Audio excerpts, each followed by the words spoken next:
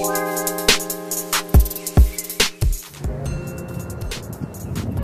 that's a camera overload. Always at Walmart, there's some shit to see.